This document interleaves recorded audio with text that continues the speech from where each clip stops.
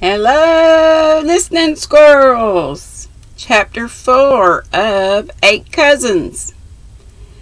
All dinner time, Rose felt. Oh, chapter 4 is called Aunts, A U N T S. All dinner time, Rose felt that she was going to be talked about, and afterwards she was sure of it, for Aunt Plenty whispered to her as they went into the parlor. Run up and sit a while with Sister Peace, my dear. She likes to have you read while she rests, and we're going to be busy. Rose obeyed, and the quiet rooms above were so like a church that she soon composed her ruffled feelings, and was unconsciously a little minister of happiness to the sweet old lady who for years had sat there patiently waiting to be set free from pain.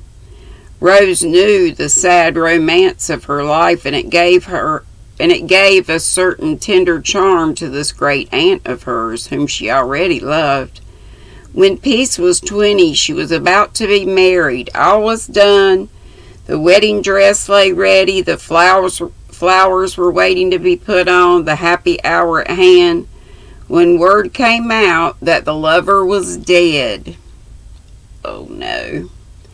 They thought that gentle peace would die too, but she bore it bravely, put away her bridal gear, took up her life afresh, and lived on a beautiful, meek woman with hair as white as snow and cheeks that never bloomed again. She wore no black, but soft pale colors, as if always ready for the marriage that had never come. How sad. Uh, for thirty years she had lived on, fading slowly, but cheerful, busy, and full of interest in all that went on, in family especially, in the joys and sorrows of the young girls growing up about her, and to them she was adviser, confidant, and friend in all their tender trials and delights. A truly beautiful old maiden with her silvery hair, tranquil face, and an atmosphere of repose about her that soothed whoever came to her. Aunt Plenty was utterly dissimilar, being a stout, brisk old lady with a sharp eye, a lively tongue, and a face like a winter apple. Always trotting, chatting, and bustling, she was a regular Martha, cumbered with the cares of this world and quite happy in them. Rose was right, and while she softly read Psalms to Aunt Peace, the other ladies were talking about her little self in the frankest manner. Well, Alec, how do you like your ward? began Aunt Jane as they all settled down and Uncle Mac deposited himself in a corner to finish his doze.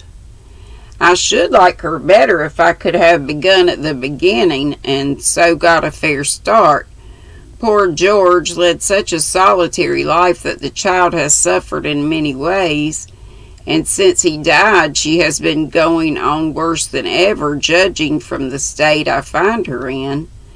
My dear boy, we did what we thought best while waiting for you to wind up your affairs and get home.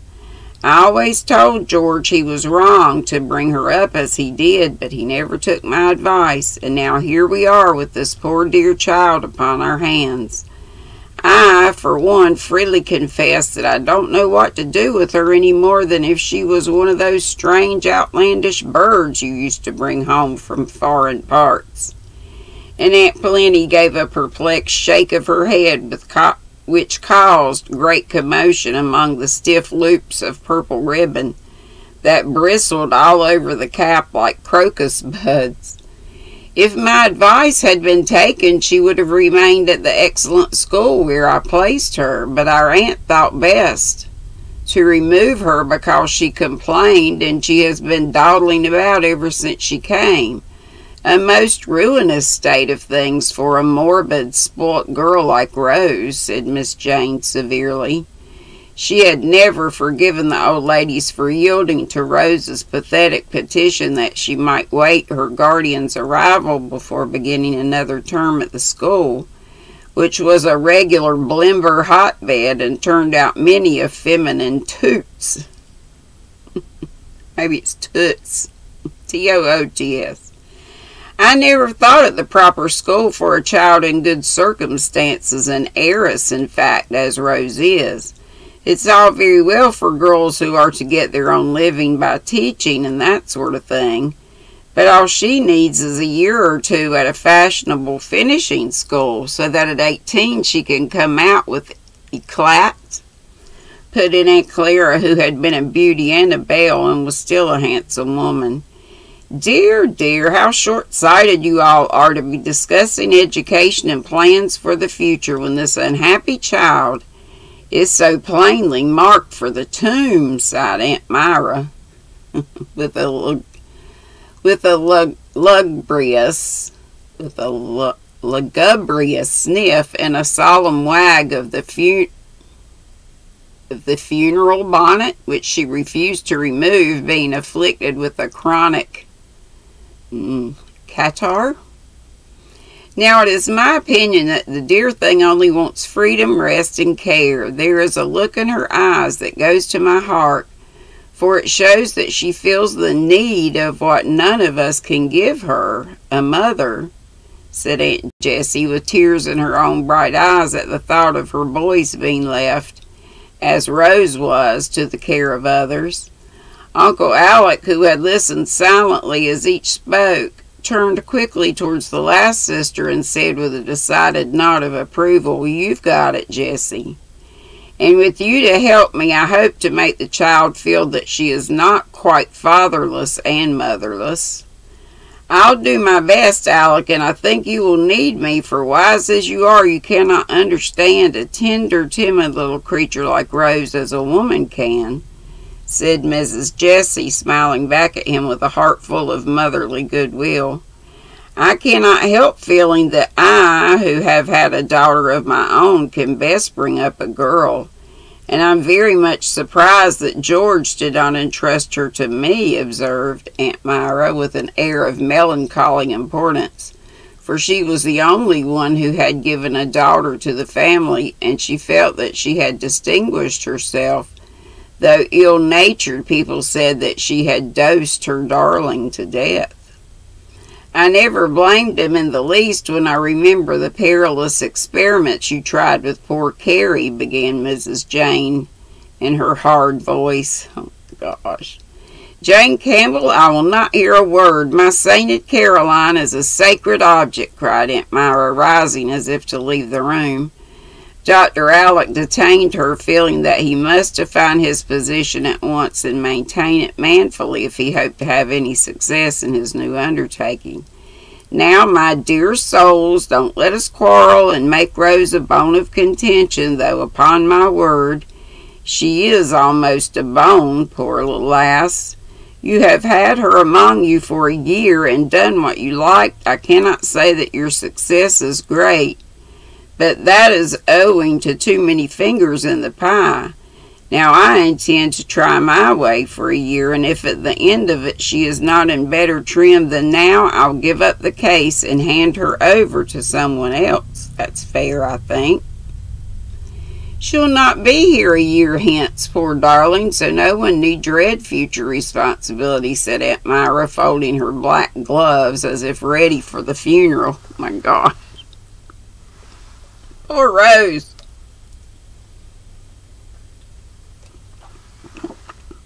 She's going to be just fine. And I bet you Dr. Alec will be great. Just my two cents. By Jupiter, Myra, you're enough to damp the ardor of a saint, cried Dr. Alec with a sudden spark in his eyes. Your croaking will worry that child out of her wits for she is an imaginative puss and will fret and fancy untold horrors. You have put it into her head that she has no constitution, and she rather likes the idea. Uh,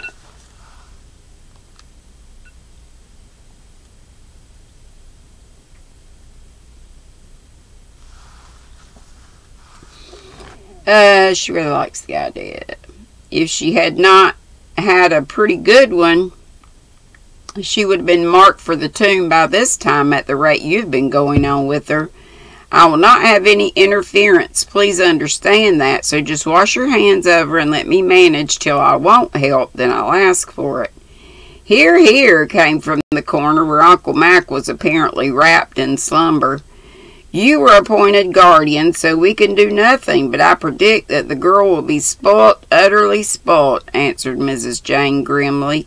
Thank you, sister. I have an idea that if a woman can bring up two boys as perfectly as you do yours, a man, if he devotes his whole mind to it, may at least attempt as much with one girl replied Dr. Alec with a humorous look that tickled the others immensely, for it was a well known fact in the family that Jane's boys were more indulged than all the other lads put together.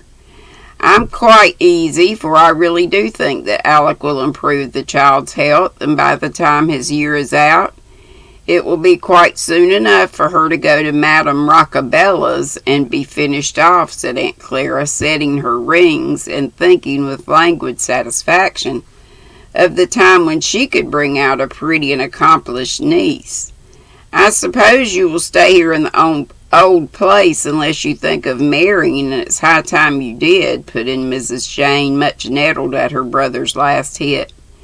No, thank you. Come and have a cigar, Max, said Dr. Alec abruptly. Don't marry. Women enough in the family already, muttered Uncle Mac, and then the gentleman hastily fled. Aunt Peace would like to see you all, she says, was the message Rose brought before the ladies could begin again. Hectic, hectic, dear me, dear me, muttered Aunt Myra as the shadow of her gloomy bonnet fell upon Rose and the stiff tips of a black glove touched the cheek, where the color deepened under so many eyes. I'm glad these pretty curls are natural. They will be invaluable by and by, said Aunt Clara, taking an observation with her head on one side now that your uncle has come, I no longer expect you to review the studies of the past year. I trust your time will not be entirely wasted in frivolous sports, however, added Aunt Jane, sailing out of the room with the air of a martyr.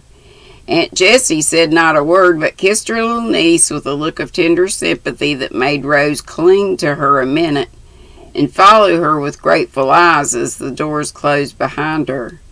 After everybody had gone home, Dr. Alec paced up and down the lower hall in the twilight for an hour, thinking so intently that sometimes he frowned, sometimes he smiled, and more than once he stood still in a brown study. All of a sudden, he said half aloud as if he had made up his mind, I might as well begin at once and give the child something new to think about for Myra's dismal and Jane's le- dismals and Jane's lectures have made her as blue as a little indigo bag.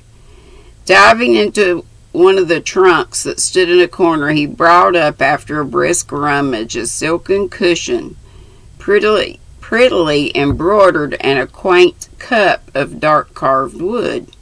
This will do for a start, he said as he plumped up the cushion and dusted the cup.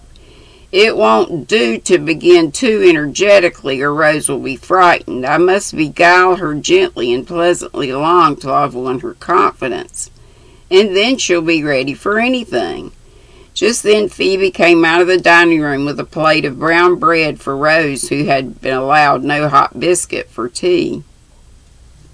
I'll relieve you of some of that, said Dr. Alec. What was that? Was supposed to have turned off. Uh, sorry. Thought I had the notifications turned off, but it didn't. Uh, this was the amphibia. I'll relieve you of some of that, said Dr. Alec, and helped himself to a generous slice. He returned to the study, leaving Phoebe to wonder at his appetite. She would have wondered still more if she had seen him making that brown bread into neat little pills, which he packed into an attractive ivory box out of which he emptied his own bits of lovage. There, if they insist on medicine, I'll order these and no harm will be done. I will have my own way, but I'll keep the peace if possible and confess the joke when my experiment has succeeded, he said to himself. So he's making pills out of the bread. Honey. Uh, looking very much like a mischievous boy as he went on with his innocent prescriptions. Rose was playing softly on the small organ that stood in the upper hall so that Aunt Peace could enjoy it. And all the while he talked with the old ladies, Uncle Alec was listening to the fitful music of the child and thinking of another Rose who used to play for him. As the clock struck eight, he called out, Time for my girl to be abed, else she won't be up early, and I'm full of jolly plans for tomorrow. Come and see what I found for you to begin upon. Rose ran in and listened with bright, attentive face while Dr. Alec was impressing, impressively, said impressively, in my wanderings over the face of the earth, I've picked up some excellent remedies, and as they are rather agreeable ones, I think you and I will try them. This is an herb pillow given to me by a wise old woman when I was ill in India. It's filled with saffron, poppies, and other soothing plants. So lay your head on it tonight, sleep sweetly without a dream, and wake up tomorrow without a pain. Shall I really? How nice it smells! And Rose willingly received the pretty pillow and stood enjoying its faint sweet odor as she listened to the doctor's next remedy. This is the cup I told you of. Its virtue depends, they say, on the drinker filling it himself, so you must learn. So you must learn to milk. I'll teach you. I'm afraid I never can, said Rose, but she surveyed the cup with, with favor, for a funny little imp danced on the handle as if all ready to take a header into the white sea below. Don't you think she ought to have something more strengthening than milk, Alec? I really shall feel anxious if she does not have a tonic of some sort, said Aunt Plenty, eyeing the new remedies suspiciously, for she had more faith in her old-fashioned doses than all the magic cups and poppy pillows of the East. Well, ma'am, I'm willing to give her a pill if you think best is a simple one and very large quantities may be taken without harm. You know hashish is the extract of hemp. Well, this is a preparation of corn and rye bread much used in old times, and I hope it will be again. Dear me, how singular, said Aunt Plenty, bringing her spectacles to bear upon the pills with a face so full of respectful interest that it was almost too much for Dr. Alec's gravity. Take one in the morning and a good night to you, my dear, he said, dismissing his patient with a hearty kiss. Then as she vanished, he put both hands into her hair, exclaiming with a comical mixture of anxiety and amusement, When I think what I've undertaken, I declare to you, Anne, I feel like running away and not coming back till Rose is eighteen. That's all, chapter four. I love this book. And chapter five will be called A Belt and a Box. Mmm belt and a box. Come on. Why don't I have a bookmark? Oh well, I'll get it figured out. Y'all have a happy day and I should be seeing you for tea at 3 today unless Kim Kim's Crochet and Knits. She's having her monetization party at 2 bells Eastern today. So I told her if she needed extra time that I would put on my community page that I'm going to be over there. So y'all come join me. But I'm still waiting to hear from her. If I don't hear, I'll, you know, just check and see. Or um, you'll know. You'll know I'm not going to be on at 3 if you see that I have put out something on the community page. But we'll just see. And I'll for sure be on tomorrow at 3. All right. Love you bunches. Be sweet. Don't be ugly. Bye-bye.